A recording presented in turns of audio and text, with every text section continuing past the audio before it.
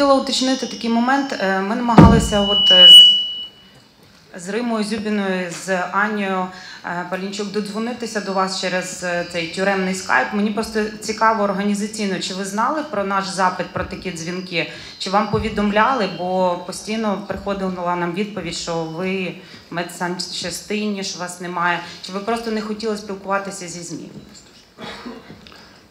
Ну, во-первых, особого желания у меня не было спілкуватися, потому что я что хотел, сказал, с кем мог я связаться, поэтому как бы, ну, у меня и были нужные мне для жизни коммуникации с нужными мне людьми. Э, Касаемо того, что как попытки дозвониться, я знаю, что ну, администрация всячески, ну это понятное дело, что не их каприз, это им были команды, но она максимально меня информационно изолировать.